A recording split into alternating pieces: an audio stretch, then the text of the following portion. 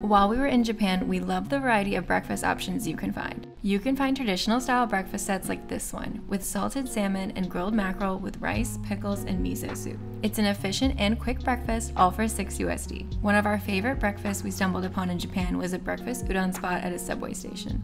This came with tofu, egg, and seaweed in a delicious savory broth with fresh ginger. You can definitely come across hidden gems all over.